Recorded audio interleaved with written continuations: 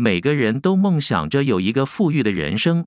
有的人靠着自己的真凭实干走向了人生的顶峰，而有的人则是凭借一些小智慧走小路，但始终不明白成功之路没有捷径可走。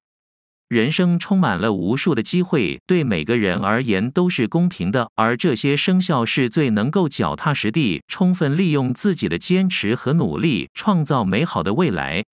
生肖猪，生肖属猪人去年也是挫折不断，受到太岁的不利因素影响，属猪人财运也处于低谷之中。好在属猪人都有敏锐的洞察力，能够提前布局，使自己事业不至于伤到元气。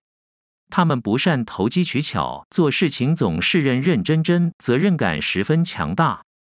十月过后，属猪人机遇不断，对于勤劳直朴的属猪人，抓住机会并不难。他们靠着无比的勤奋，会比别人走得更远，生活后福不断。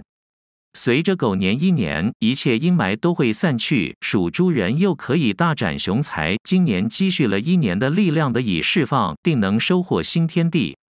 生肖虎属虎人天生就有十足的领导力，他们性格奔放，唯我独殿。但是属虎人去年受太岁相冲的影响极大，有虎落平阳被犬欺的感受，事事都处于停止的状态，损失比较大。属虎人一生真诚待人，不善虚伪。十月过后，属虎人会迎来很好的机会，好事情不断。对于属虎人来说，他们的细致认真会让他们更有机会获得成功。越努力才越大，未来光明一片。今年大运一转，属虎人的春天来了。好在属虎者都有强大的心理承受力，越挫越勇，金定注定能打一个翻身仗。生肖猴，去年生肖猴真的是太苦了，受到本命年的折磨。属猴人去年财运受损严重，运差的时候吃饭都要精打细算。好在属猴人在低潮的时候能够看到自己的短处，及时充电学习。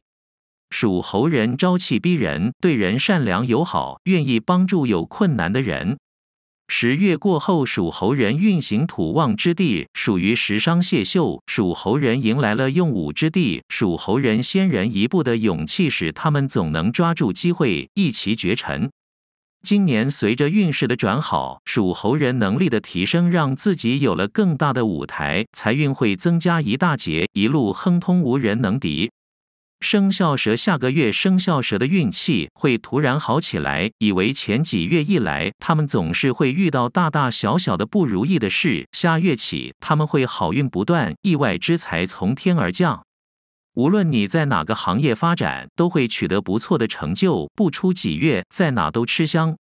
生肖羊属羊人今年的总体运程比较奇妙，吉星凶星参半。属羊人擅长精打细算，加上今年主意马星驰，奔波变动。但不论怎样，都要全力出击，不可放弃任何机会，自然逆中见顺，柳暗花明。属羊人今年大力变动，加上四方建立，海外贵人多，所以可以尝试拓展或增进海外关系。十一月份财运不俗，但同时也要注意开源节流。